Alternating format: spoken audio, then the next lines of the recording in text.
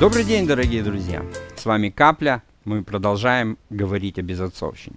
В одной из предыдущих программ я говорил о том, что более 40% детей воспитываются и живут в семьях, где нет отца.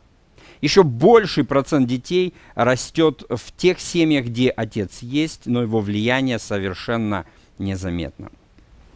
Что хуже? Мне кажется, что и то, и другое является э, по сути безотцовщиной. Если ребенок растет в семье, где отца нет, то это безотцовщина э, прямая или очевидная. Если же он растет в семье, где отец есть, но совершенно не интересуется жизнью ребенка, то в какой-то мере это хуже. Это скрытая безотцовщина. И, на мой взгляд, эта ситуация гораздо более пагубна для ребенка. Потому что в семье, где отца в принципе нет, у ребенка нет никакой надежды получить поддержку, одобрение или помощь. Если же он есть, то такая надежда может быть просто разрушена. Это еще более серьезно скажется на формировании ребенка, на его ценности, на его отношении к миру.